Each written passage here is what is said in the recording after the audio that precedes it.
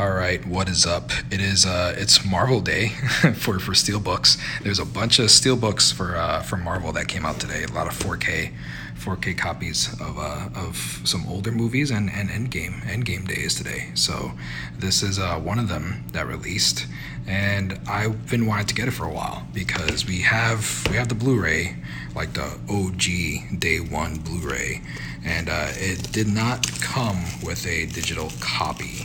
So looking forward to, to finally having Thor ready to go like whenever on a whim. Uh, if I had to pick one, I'd say Thor is my uh, my favorite for uh, for the Avengers for for the MCU, and that is that was before uh, before Ragnarok Ragnarok solidified it.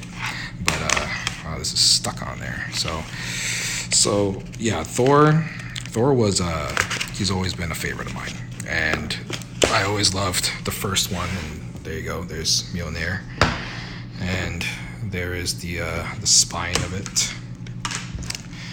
And let's see what is inside. Besides the code that I'm using, so here is the uh, the disc, and there's the the scene in the background.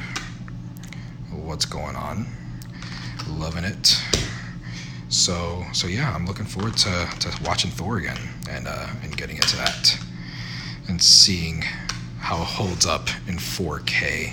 But, uh, but there you go. There's the steelbook. It looks awesome. I I was questioning the uh, the way this looks. Like you know, I like the steelbooks that have uh, that have like a definitive look. Like you know, it's not really a movie poster or like you know the same thing as the Blu-ray, just steelbook. I like it being different, but you know, I dig this. I dig it a lot. So there you go. Thor, the man, the chef, the dad.com. Check it out. Whatever.